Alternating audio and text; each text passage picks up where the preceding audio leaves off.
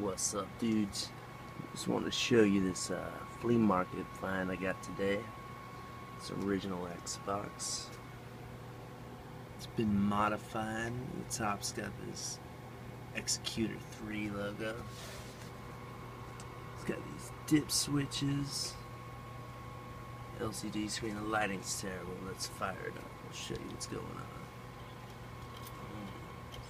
that. Got a nice purple boot logo here. Xecuter rocks in my box, dude. It's rocking it. Nice LCD.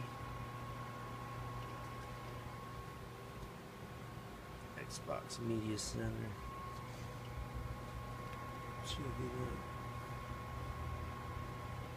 So yeah, pretty good find.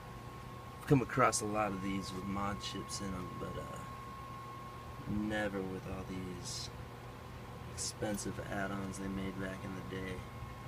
And this puppy only cost me five dollars. It's not too shabby. It's got. Let's go through some of this. It's got an 80 gig hard drive on it.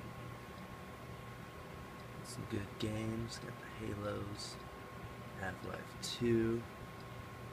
I honestly didn't even know they made that for the original Xbox. It's probably not too great. A Castlevania.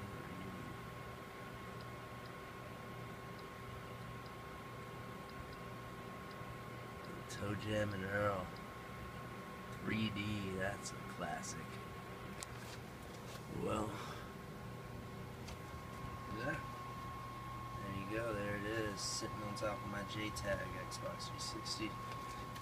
So, I don't know, I don't really have any use for this. I'll probably flip it right away. Just wanted to document it before I do. It's a pretty good find. Pretty damn good find. So yeah. There you go.